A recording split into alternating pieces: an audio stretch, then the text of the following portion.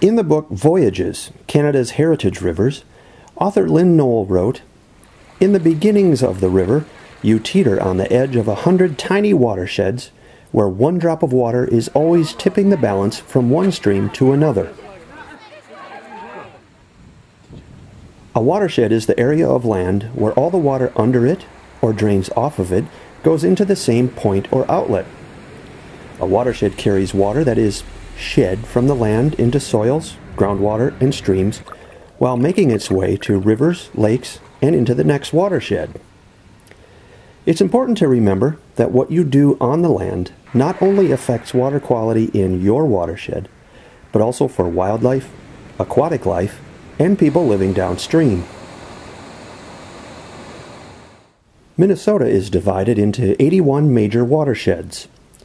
Groupings of these watersheds make up regional basins that lead to Minnesota's five largest rivers the Mississippi, the Minnesota, the Rainy, the Red River of the North, and the St. Croix. As an example, the Mississippi River, from its headwaters in Itasca State Park to Minneapolis, has 15 smaller watersheds that drain directly into the big river. Those 15 watersheds, and those that border them, together make up the Upper Mississippi River Basin.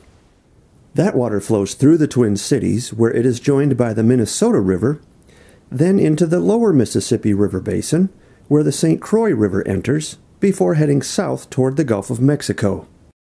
Watersheds in northwest and northern Minnesota flow to the Rainy River and the Red River of the North, then into Canada, Hudson Bay, and eventually the Atlantic Ocean.